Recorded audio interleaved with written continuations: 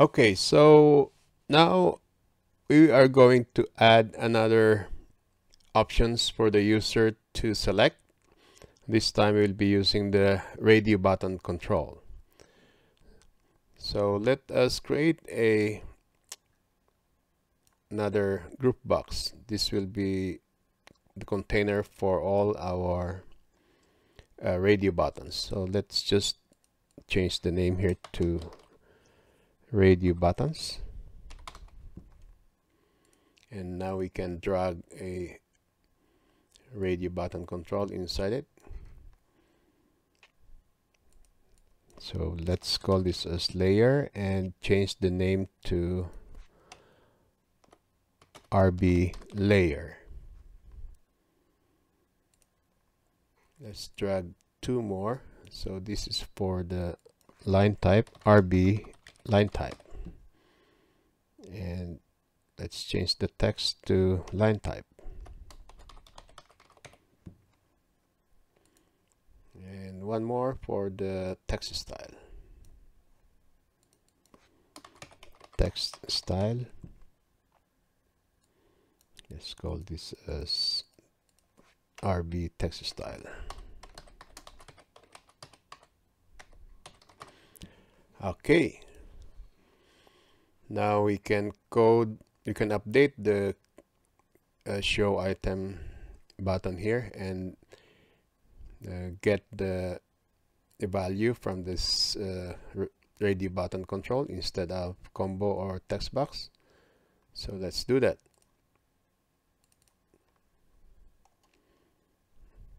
Let me just comment out this one. Now using radio button. Okay so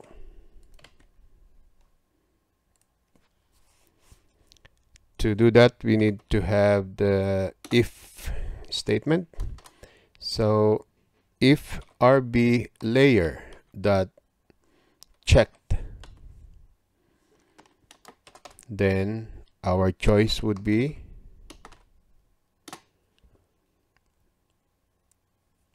RB layer that text.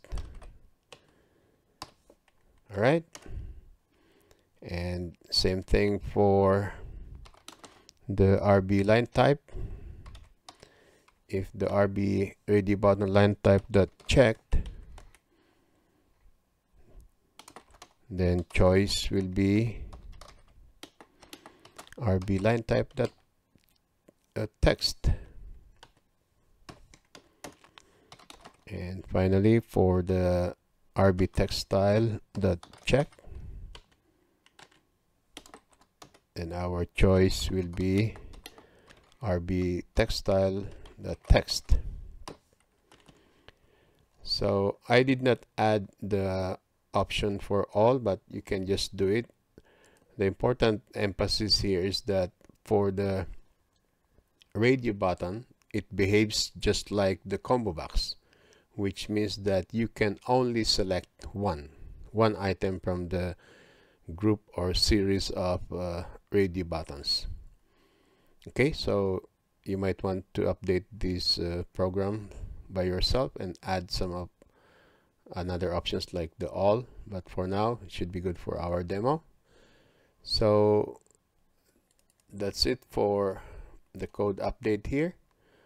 Let's save our project and let's try it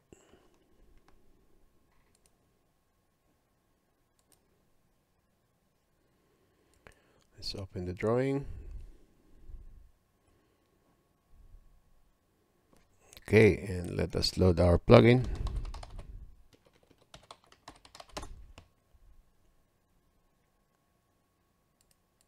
Custom controls demo.